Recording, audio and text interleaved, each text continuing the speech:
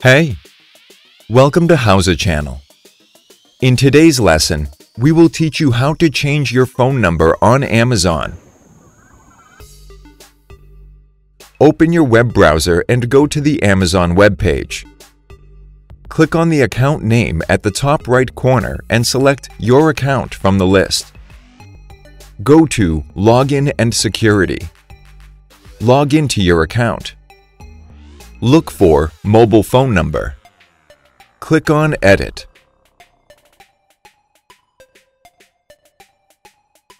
Enter your phone number and click Continue. Click OK in the pop-up window. Enter the one-time password you receive in the text message. Click on Verify. Enter your account password and click on Save Changes. That's it. Thanks for watching the video.